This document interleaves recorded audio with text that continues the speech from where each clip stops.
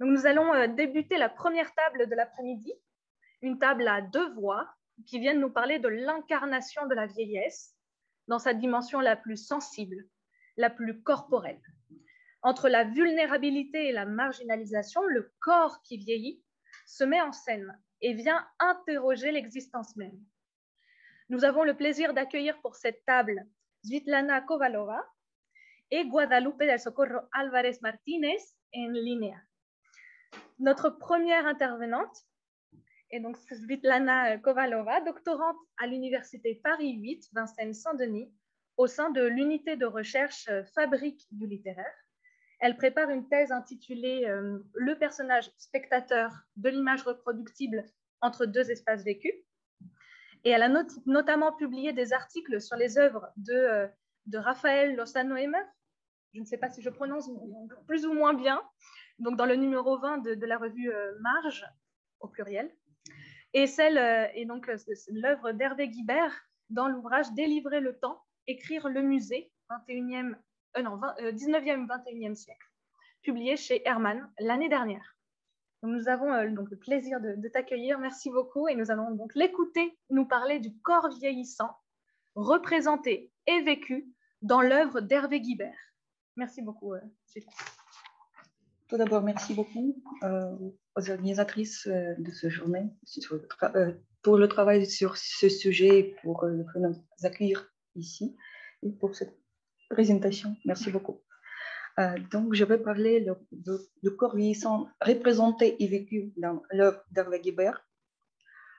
Euh, il s'agit de roman photo Suzanne et Louise, édité en 1980 par Hervé Guibert.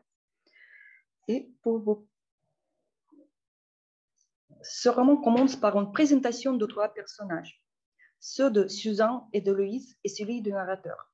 Je cite euh, Louise et Suzanne, deux vieilles femmes seules, recluses, deux sœurs.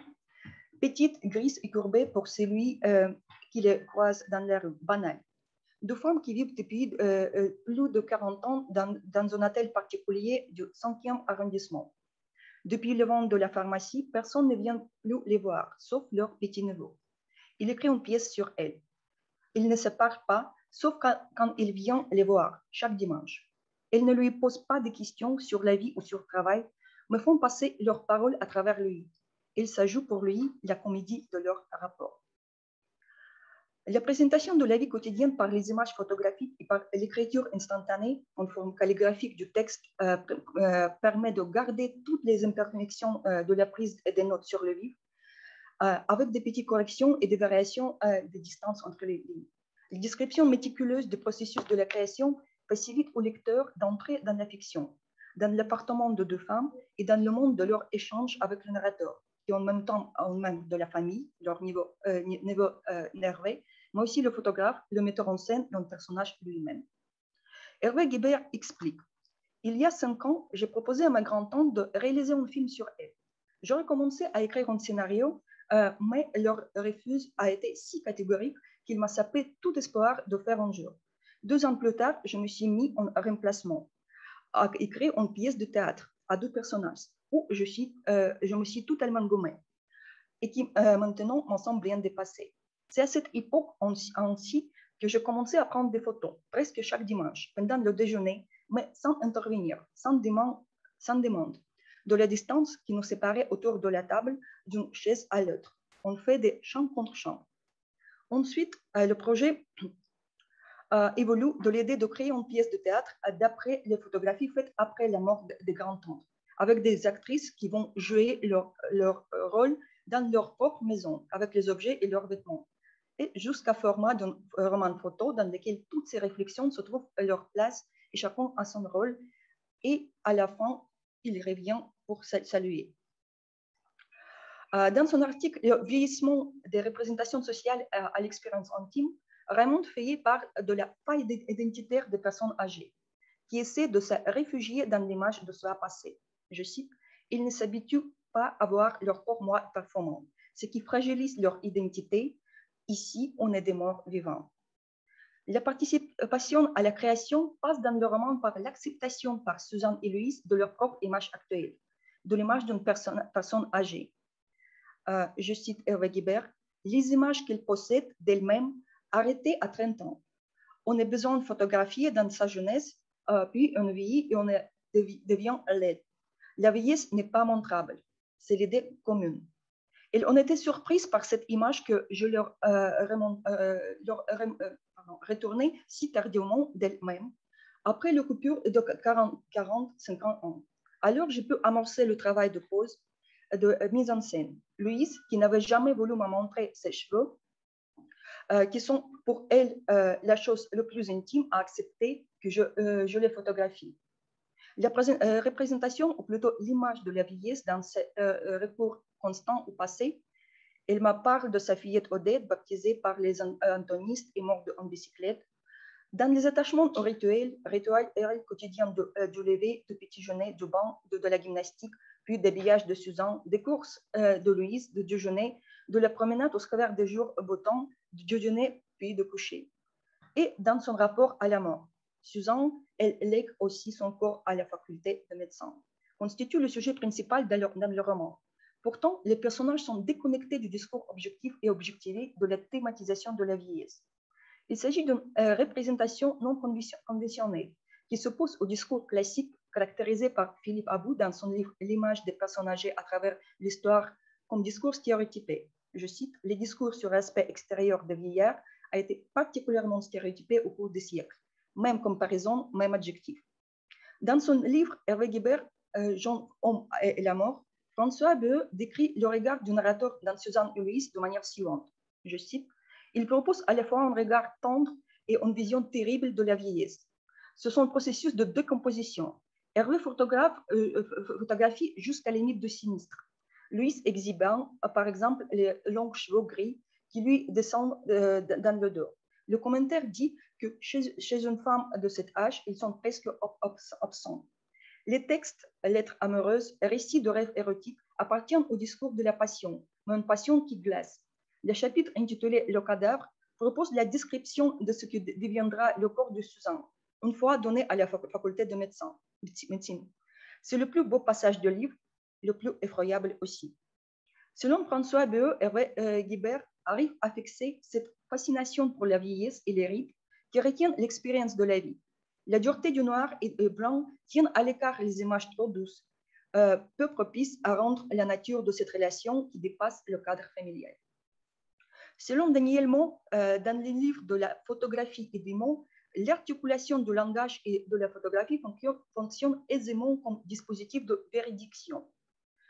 Nombreux sont ceux qui, ont repris, euh, la formule afin de faire trembler ces assises et de mettre à mal les frontières qui existent entre biographie et fiction, entre euh, autobiographie et fiction. De citation. Dans le roman d'Hervé Guibert, la frontière entre la fiction et la réalité est mise en jeu depuis le euh, début du livre. Le spectacle de la création fait partie de la création et devient le sujet principal où les personnages acceptent non seulement la prise en image et en texte par le narrateur photographe leur niveau, euh, euh, mais particulièrement participent également à la mise en scène et à la représentation. La communication par image crée une ligne de la narration spécifique est également analysé dans le roman par le narrateur. Euh, ce qui passe au moment de la photo sur le visage de Louise euh, pas en vérité la transfiguration. Quand je lui, je lui, montre les dernières photos où il apparaît les cheveux défaits, le visage détenu, extraordinairement belle, et ayant perdu son âge tout à coup, Louise ne, se reconnaît pas. Elle croit d'abord voir sa sœur. Ce n'est pas moi. Le livre construit le lien regard-image où la photographie représente une preuve de la beauté comme une preuve de l'amour, et où l'image de soi s'en multiplie dans les transfigurations, relationnelles.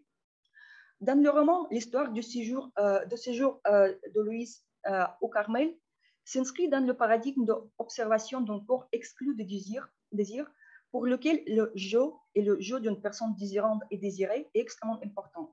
Le passage vers nous, non dans la dichotomie binaire d'un couple amoureux mais dans la constitution d'un corps commun, communautaire ou religieux, est lié à la perte de l'image de l'être désiré dans les yeux des autres et au refus euh, de sa propre image.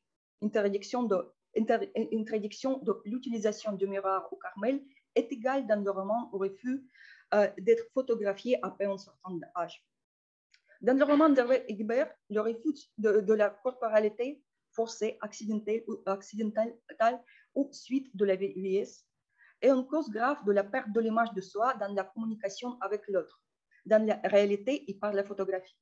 Le processus de retour dans le monde du visible par la photographie sert à rétablir cette lacune.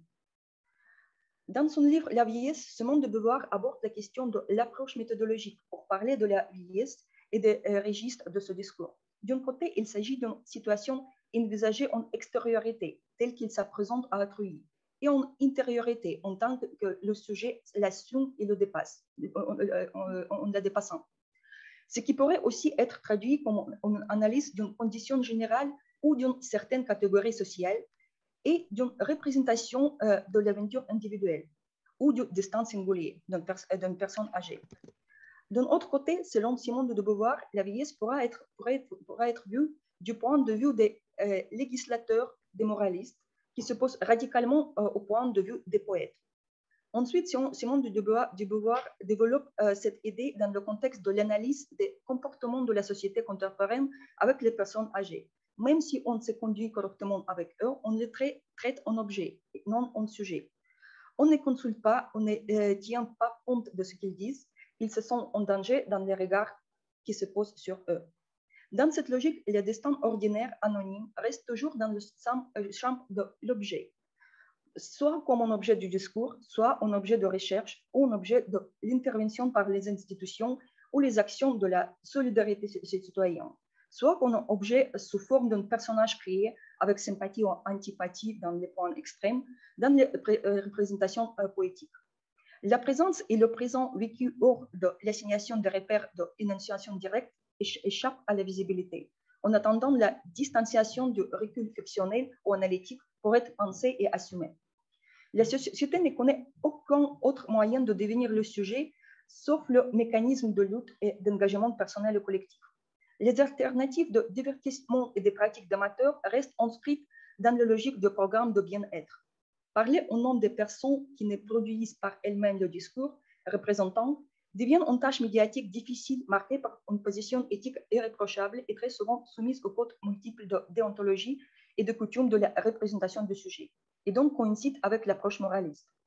La création du roman euh, euh, d'Hervé Guébert des aveugles, ici de son travail en tant que bénévole dans une institution pour les gens aveugles, permet ainsi à Bruno euh, Blanquiment de parler des postures et des impostures du récit. Je cite, Tantôt le narrateur transpose sensoriellement euh, les perceptions des aveugles en s'identifiant à eux, tantôt, tantôt il les portraiture en aveugle.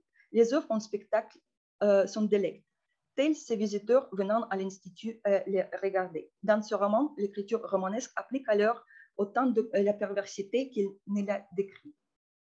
Dans le roman d'Hervé Guibert, les personnages âgés constituent le sujet qui s'exprime directement par l'expression corporelle et à l'aide d'une personne qui les aime et qui met en forme littéraire leur vie en interaction avec la science, ce qui diffère de toutes les approches existantes de la représentation de la vieillesse. Dans le livre, il ne s'agit pas de la réalisation d'un projet social, mais de l'intérêt personnel d'Hervé Guibert dans le contexte familial aux réflexions sur son propre destin corporel, physique, générationnel et relationnel. Euh, dans son livre euh, L'œuvre euh, siamoise, Hervé Guibert et l'expérience photographique, Frédéric Poignat analyse cet intérêt dans le contexte des références signifiantes pour Hervé Guibert, Michel Foucault et Diane Arbus. Il cite qu'Hervé Guibert a dit dans Décadrage, émission Décadrage de la radio suisse romande le 9, euh, février 1986. C'est un, des thèmes qui m'a fait encore écrire. C'est un motif très prenant. C'est une question qui a intrigué aussi beaucoup Michel Foucault. Euh, en en parlant beaucoup ensemble. C'est une chose qui, je crois, fascinait, euh, fascinait beaucoup. Le motif beauté laideur. On retombe aussi sur ça, l'histoire du corps, du corps bien formé, mal formé, de ce genre de choses. Pourtant, il ne s'agit pas de la création d'une image qui provoque le choc en tant que tel. La représentation de la mise en écriture du corps marginalisé dans les œuvres de Guibert, ça fait ce forme de dialogue avec les personnages et avec les lecteurs spectateurs. Dans ses réflexions sur le regard des autres, Jean Améry aborde la question de l'être social et du dialogue. Je cite Nous parlons, la société répond. Ce que nous faisons, nos, nos actions, sont le premier acte d'une réalité sociale. Le second, qui se réverbère sur le premier, lui conférant en dimension, on est la réplique au, sein du dialogue et de l'action. Nous croyons parler en écrivant, du moins ce que nous supposons, en défiant la société avec notre parole d'écrivain. Il appartiendra à la société d'accepter le défi pour que nous ayons été écrivains pour de bon parce qu'agissant. Dans le roman photo Suzanne et Louise, les deux femmes constituent le sujet principal. La narration inclut leur voix en prenant au sérieux chaque détail auquel elle accorde de l'intention au présent. La voix du narrateur ainsi que le geste du photographe sont lisibles et visibles à travers le jeu relationnel entre trois personnages et trois personnes réelles. Euh, ce qui devient possible grâce au passage constant d'Hervé Guibert. Il est en même temps euh, euh, devant et derrière l'appareil photographique. Il est celui qui écrit et celui qui est décrit. Dans son article, le vieillissement de qui est-ce l'affaire Marie-Pierre Hervy caractérise le vieillissement comme un processus physiologique inéluctable responsable de modification de l'organisme, en commençant euh, l'argumentaire par l'exclamation La vieillesse n'est pas une maladie. Faut-il encore le rappeler? Les expériences vécues de la vieillesse et, du sida dans les œuvres d'Hervé Guébert se trouvent rapprochées, non par l'association directe de la vieillesse et la, à la maladie, mais plutôt le contraire. Ce sont la euh, fragilisation du corps et ce euh, changement irréversible posé par la vieillesse et le sida qui mettent la personne dans la lutte quotidienne contre les maladies multiples. L'observation détaillée par l'écriture et la mise en image crée un point de vue panoramique de la quotidienneté à travers le corps et ses manifestations. Ce point de vue s'éloigne du discours de la psychologie et du bien-être qui explique les règles d'un vieillissement réussi. Le temps passé de la vie humaine comme une tragédie existentielle corporelle devient plus visible et perceptible dans le cas de vieillissement accidentel.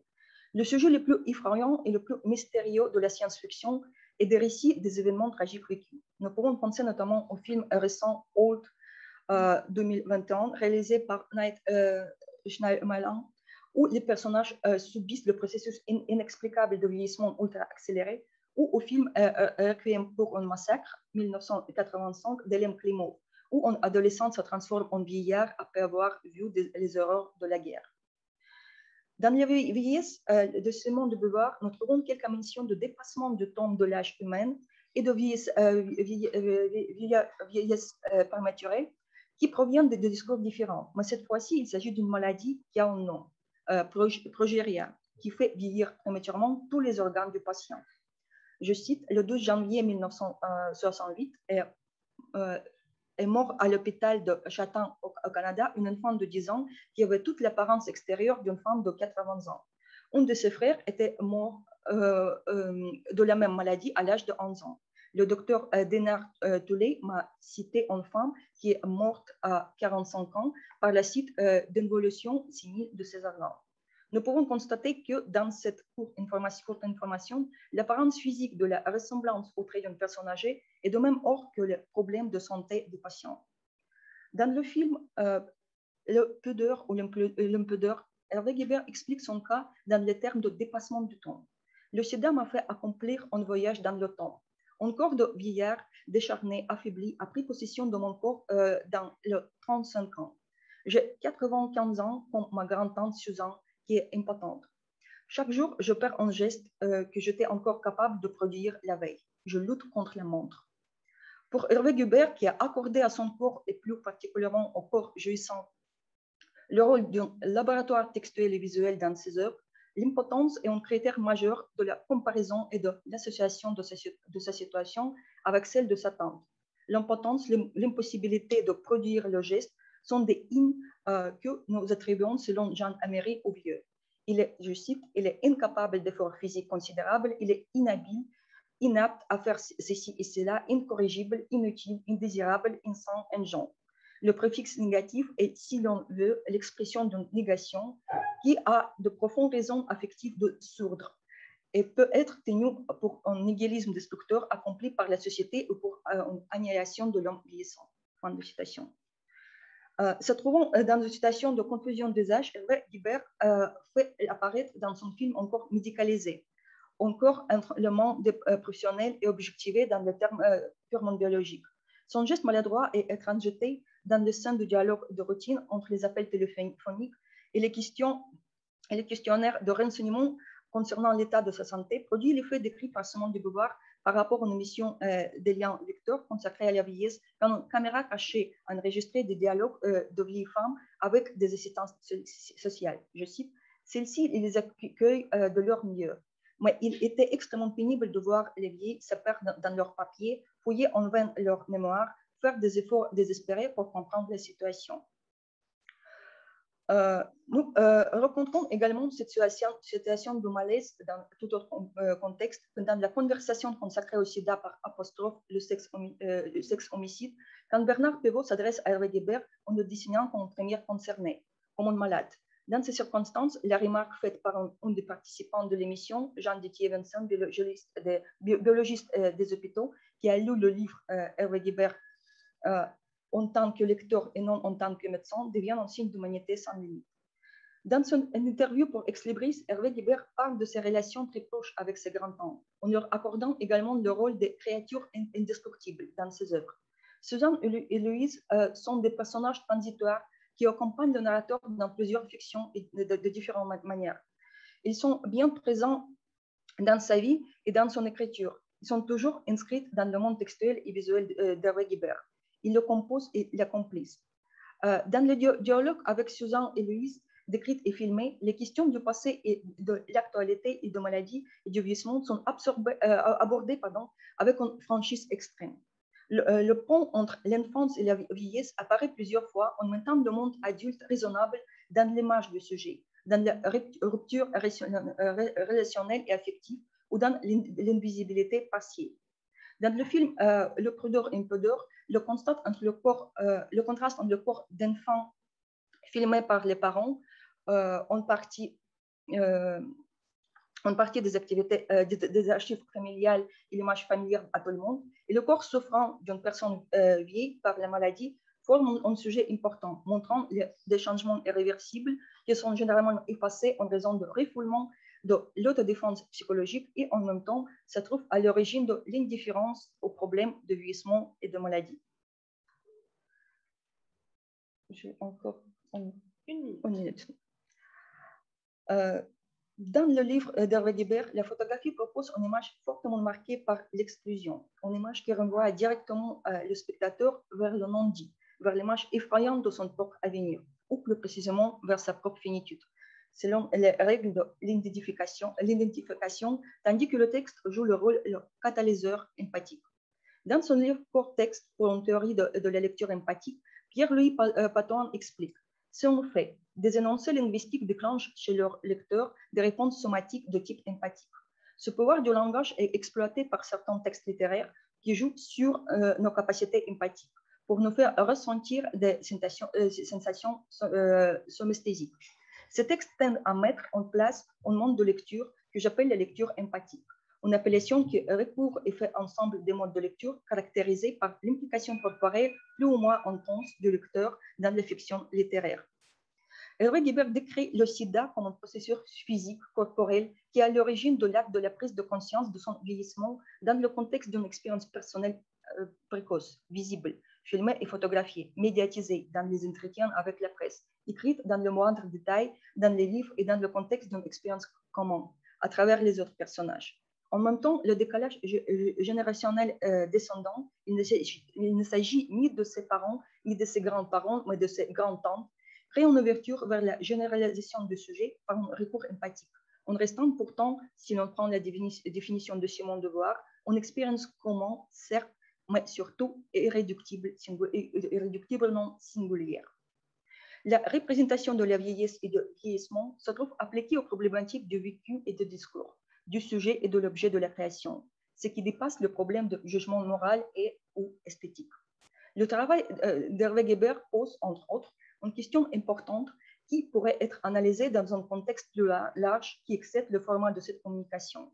Comment l'interaction entre le texte textuel et le visuel pourrait-il construire un dialogue euh, et la compréhension empathique du sujet à travers la voix et le regard en tant que moyen expressif de la création. Merci beaucoup. Merci. Merci beaucoup, Diana. Cette uh, intervention uh, très dense, très riche. Moi, bueno, pues vamos a escuchar ahora a Guadalupe de Socorro Álvarez Martínez, licenciada en Letras Latinoamericanas por la Universidad Autónoma del Estado de México y maestra en Literatura Mexicana Contemporánea por la UAM Azcapotzalco. Se dedica a la corrección de estilo en la Secretaría de Investigación de la Universidad Autónoma del Estado de México, mientras que en sus tiempos libres los dedica, sus tiempos libres los dedica a la investigación. Sus líneas de interés son la literatura digital, los productos culturales contemporáneos y la literatura del yo. Donc, on va écouter Guadalupe, Guadalupe del Socorro Álvarez Martínez, qui est euh, diplômée en littérature latino-américaine par l'Université autonome de l'État du Mexique.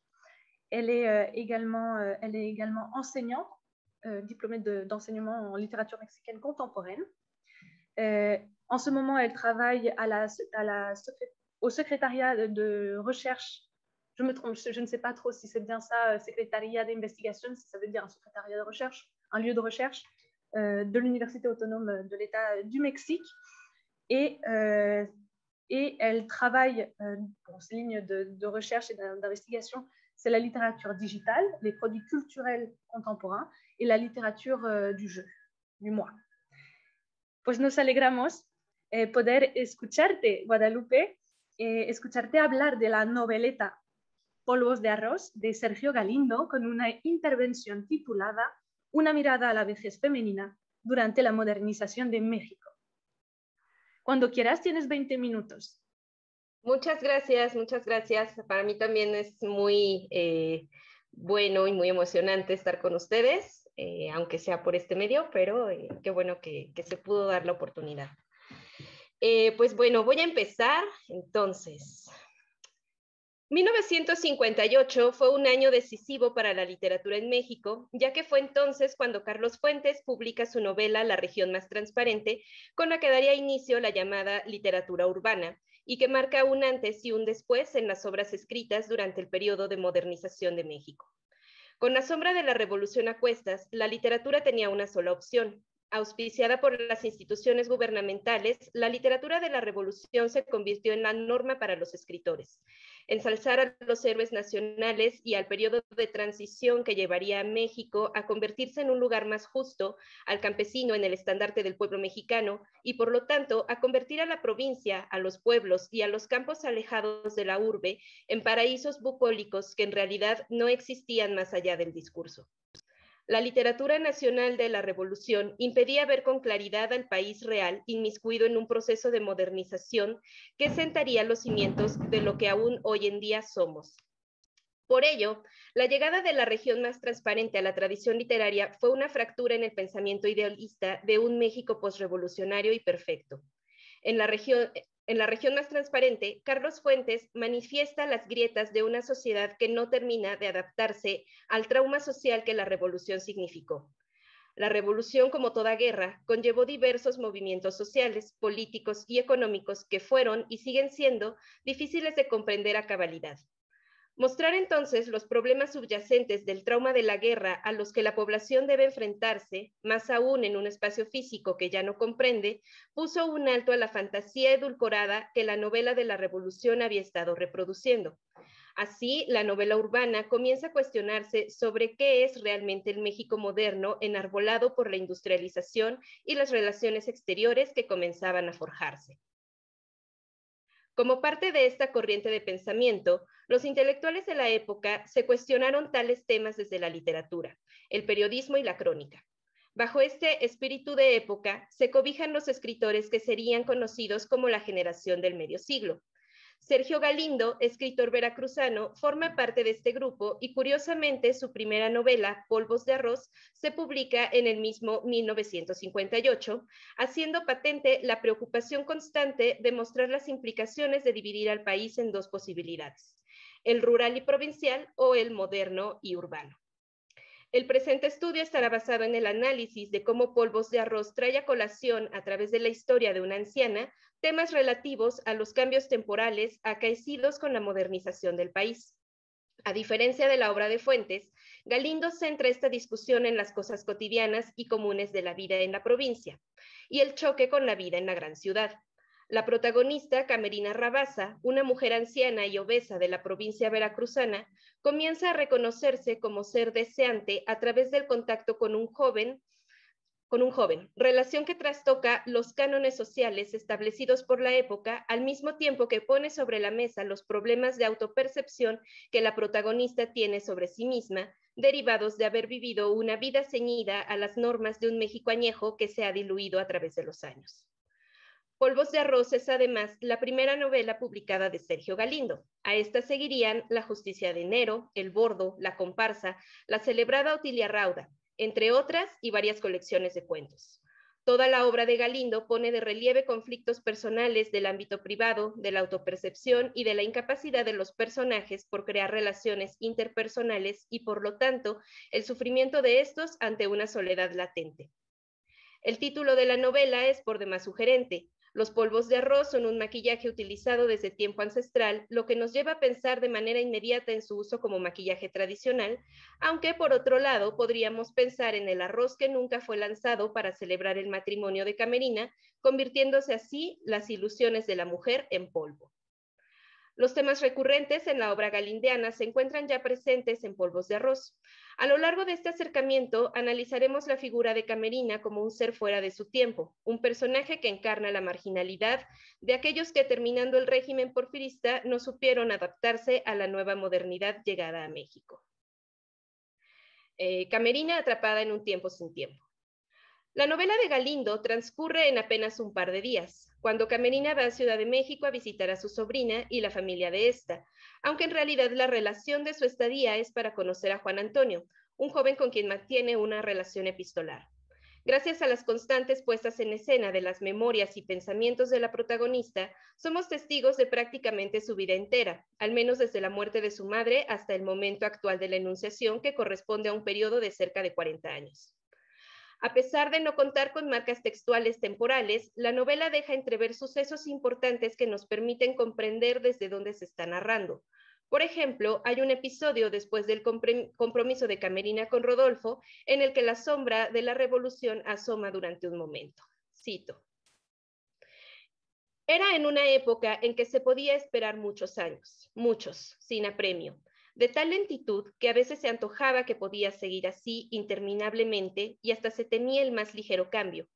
Por eso, sin duda, nunca hablaban de política y trataban de evitar cualquier comentario que les hiciera comprender que la vida llevaba otro curso, lleno de cambios decisivos.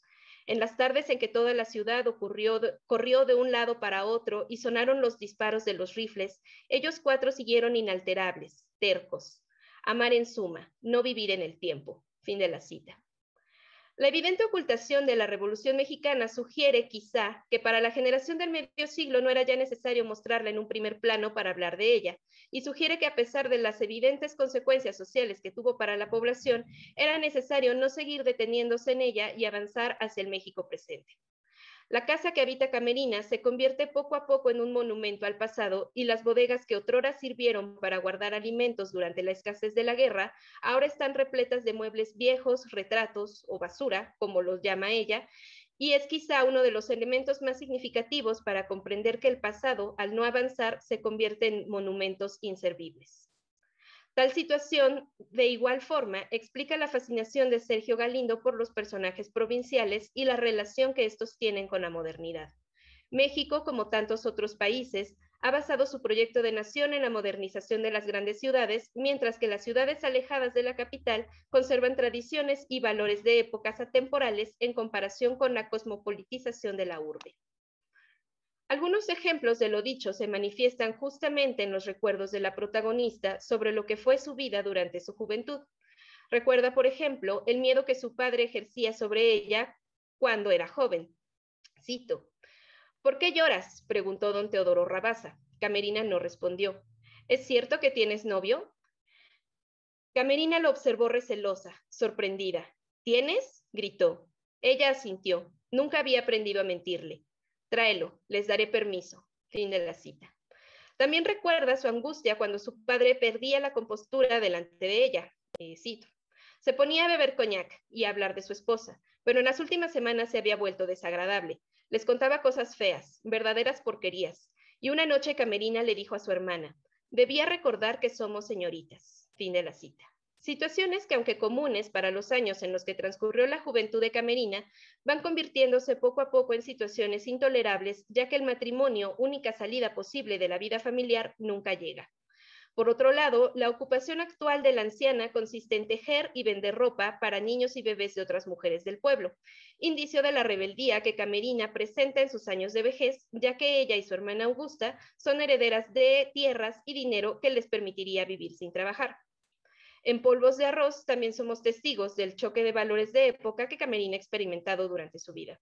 El enviar a su sobrina a estudiar a la capital es otro de los indicios de que la mujer comprende que ya no se encuentra en el lugar que solía conocer. El rechazo de la idea porque su sobrina se case joven y años después el apoyo que muestra ante su sobrino nieto para que éste contraiga matrimonio son dos hechos contrastantes en el desarrollo de la personalidad de la mujer. Sin embargo, el choque más evidente e importante en la vida de Camerina se relaciona con la forma en la que vive el amor romántico.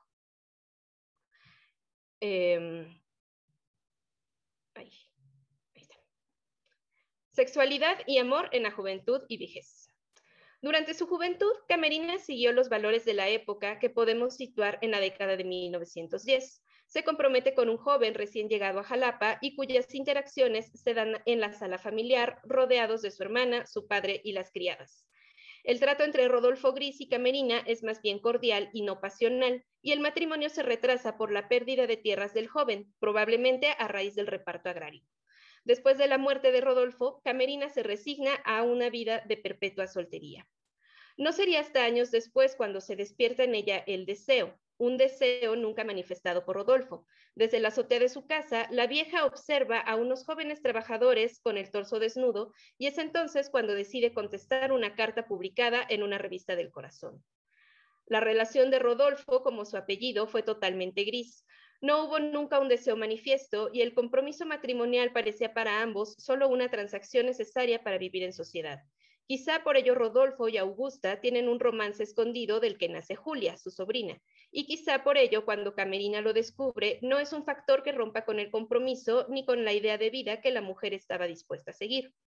Sin embargo, la falta de pasión que Camerina experimenta durante su juventud es compensada con el deseo sexual que explota en sus años de vejez, primero con los trabajadores y posteriormente a través de la correspondencia con Juan Antonio, donde se lee el deseo explícito de la anciana por el joven. Sí, te quiero, me lo repito y lo creo, lo siento, pero dímelo tú a mí, repítemelo en cada una de las líneas de tus cartas. Tus palabras siempre suenan en mi oído como si fuera la primera vez que las dijeras. Dime que me amas muchas veces, dímelo millones de veces. Fin de la cita. La manifestación del deseo de una mujer vieja por un hombre joven es una transgresión de lo tradicionalmente establecido. Si bien la literatura cuenta con ejemplos de relaciones con edades dispares, estas generalmente corresponden a hombres viejos atraídos por jovencitas. En la relación entre Camerina y Juan Antonio notamos entonces otra de las rupturas con la tradición literaria de la figura de la anciana. Comúnmente, el tópico literario muestra a las ancianas como arquetipos establecidos, ya sea como una mujer sabia o una bruja o curandera. Según Murgusa Roca, quien hace un recorrido por las representaciones de la mujer anciana en diversas manifestaciones artísticas, encontramos que, cito, aunque la valoración social de esta edad ha sido fluctuante a lo largo de la historia occidental, hay una tendencia general a la degradación en la que intervienen factores complejos, socioeconómicos, culturales e incluso demográficos. Sin embargo, esos factores no operan de igual manera para los hombres que para las mujeres. Esta situación de desequilibrio que denigra y demoniza a la mujer anciana se ha explicado por diferentes vías. Desde una perspectiva antropológica, Snow ve su demonización como resultado de la deformación de los mitos paganos matriarcales tras la llegada del patriarcado cristiano. Las interpretaciones psicoanalíticas sobre el miedo a la madre y su consecuente desplazamiento en la literatura son también aplicables a la mujer madura y a su valor simbólico.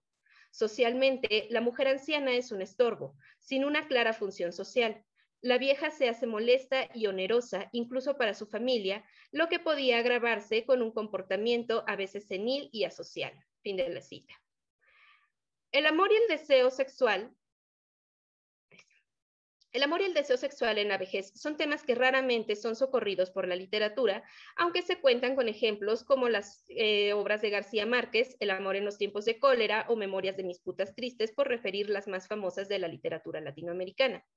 Es necesario indicar que estas están escritas desde una perspectiva masculina en la que el deseo juega un papel más bien accesorio. Como muestra Murgusa Roca, la vejez no se vive y percibe de la misma forma para hombres que para mujeres.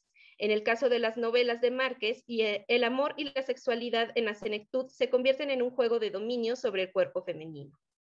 Desde una perspectiva psicoanalítica, el amor y el deseo sexual durante la vejez, según Freud, obliga a preguntarse en qué se convierte la relación del hombre consigo mismo, con los demás, con el mundo, cuando ha desaparecido en la organización sexual el primado de la genitalidad.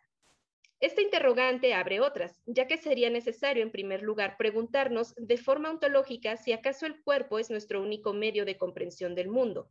Es cierto que la percepción que tenemos de este y nuestra relación con él depende del cuerpo que tenemos. Sin embargo, centrar todo el desarrollo humano en la corporalidad es reduccionista del resto de elementos que conforman a la conciencia de uno con el medio. Siguiendo con tal lógica, Camerina comienza a figurarse como un personaje rebelde, ya para la tradición literaria, ya para los valores de época que en ella se encarnan. No solamente descubre su sexualidad durante la vejez, sino que es a través de un joven de quien podría ser abuela. Sin embargo, es necesario remarcar que la rebeldía de la mujer es casi inocente, ya que tal actitud no surge de un proceso de empoderamiento, sino de la infantilización que trae consigo la vejez. Siguiendo a Simone de Beauvoir, comprendemos que la naturaleza infantil, al ser reprimida durante las etapas de la vida, se vuelve inevitable de contener en los, de contener en los últimos años y por lo tanto se genera este vínculo que la sociedad ha entendido como una oportunidad para disminuir a los viejos. El problema con ello es que la infantilización del anciano es una perspectiva limitada de la psique de la persona. La diferencia fundamental entre el niño y el anciano es que este último comprende su naturaleza finita, por lo que sus acciones están siempre marcadas por la sensación de vacío. Camerina es muy consciente de que el amor de Juan Antonio es la última oportunidad que tiene para ser amada. Constantemente se pregunta por el sentido de su vida y recuerda las muertes de aquellos que la rodeaban. Cito, es complicado iniciar la reconstrucción de uno mismo y regresar con otros ojos a una vida vivida hace mucho tiempo, con objeto de apresar su significado y saber por qué existe uno, por qué. Fin de la cita. De tal forma que la rebeldía de la anciana se presenta como una actitud atemporal, en su actual vejez, Camerina ya no está sometida a las buenas costumbres de su familia y sería más libre de tomar decisiones. Así, gracias al nuevo enamoramiento, la mujer recupera o más bien explora el deseo que nunca pudo manifestar por su prometido cuando era joven. Autopercepción y preocupaciones corporales. Los discursos superpuestos con los que se construye la narración nos muestran de manera paralela la relación de Camerina con Rodolfo Gris y la visita a Ciudad de México, haciendo patente las diferencias temporales entre ambos periodos. Y aunque Camerina comprende que los tiempos han cambiado, frase que se repite cual mantra para justificar su relación, además de hacerla confiar en que en la ciudad, acorde con los nuevos valores, su deseo podrá ser satisfecho. Así, ambos discursos se van entremezclando durante toda la historia de manera tal que en ocasiones los pensamientos presentes y recuerdos de Camerina se encuentran en un mismo nivel y no sabemos con exactitud si se dirige a Rodolfo o a Juan Antonio. Sin embargo, es muy tarde. Por más que lo intente, Camerina está constreñida a los valores bajo los que creció y fue educada. Podemos notar esta afirmación cuando va de compras con su sobrina nieta. En secreto admira su cuerpo y su juventud, por lo que se plantea la posibilidad de confesarle su secreto para que ésta le ayude a cambiar su forma de vestir y verse algo más joven. Sin embargo, este intento es frustrado ante la incapacidad de la vieja de siquiera cambiar el tipo de maquillaje para ocultar sus arrugas. Más allá de sus 70 años, lo que le preocupa a la mujer es su gordura. En el cuerpo es en donde se han manifestado las carencias emocionales y físicas de la vieja. La mujer comienza a engordar tras años de relación de noviazgo con Rodolfo que no parecen terminar y con lo que podemos asociar el vacío de la pérdida con la ingesta calórica sin control. Según Yael Lipovetsky, cito, el cuerpo mismo ha perdido su estatuto de alteridad en beneficio de su identificación con el ser sujeto, con la persona. El cuerpo ya no designa una abyección o una máquina, designa nuestra identidad profunda. Fin de la cita. Argumento con el que podemos comprender la preocupación corporal de la protagonista, pues todo se reduce a su autopercepción como mujer obesa, más allá de mujer vieja, pues como hemos visto, la vejez le ha devuelto irónicamente una chispa infantil. Así, la gordura produce en ella mayor angustia que la vejez y por ello comprendemos el autorrechazo que tiene por sí mismo y que manifiesta con el rechazo de mirarse en el espejo.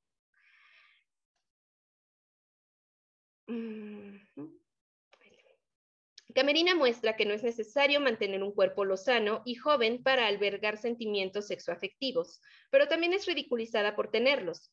Mientras que por un lado, Camerina comienza a reconocerse como un ser deseante, la sociedad reprime sus deseos. Al encontrar su correspondencia con el joven, su familia se escandaliza y divierte por igual. Cito, ¿te imaginas el susto de ese pobre muchacho? Su cara. No sean bobos, no es una cosa para reír. No debiste contar nada, Perla. Tú también te reíste. Lloré. Te reías, mamá, juro que te reías. Y mira la risa de papá. No griten, suplicó Julia. Puede despertar. No importa. La pobre es capaz de oírnos y no entender que se trata de ella. Debería de preocuparse por sus años, no por sus kilos. Es un vejestorio. Pobre querida vieja chocha. Es algo tan risiblemente tierno, pero alborotarse a su edad. Tú comprendes menos, eres hombre, no te das cuenta. Ella es, oh, la pobre es muy buena y muy vieja y muy gorda. En la conversación anterior podemos notar precisamente cómo se justifica el amor y deseo de la mujer a través de su edad. Adjetivos como muy buena, pobre vieja, risiblemente tierna, son ejemplos de cómo la vida durante la vejez se convierte tan solo en una réplica de las ilusiones infantiles y por lo tanto no son tomadas seriamente. Ante el rechazo social por sus muy reales sentimientos, Camerina decide desaparecer de forma simbólica. Finge dormir para no escuchar los comentarios mientras que llora su destino. De nueva cuenta, la mujer debe renunciar a sus deseos. En su juventud, debido a que los valores de época la obligaban a comportarse de forma púdica y virginal, en la actualidad del relato, a pesar de la vanguardia del pensamiento que significa la urbanidad, de nada sirve revelarse cuando se está en el nadir de la vida. Conclusiones. El proceso de individuación de la, anciana, que acorde con el proyecto modernizador del país, llega demasiado tarde y este proceso se ve interrumpido por la toma de conciencia a fuerza de su posición en el mundo. El cuerpo de Camerina, no joven ni esbelto, se vuelve irónicamente en el impedimento para cumplir sus deseos carnales.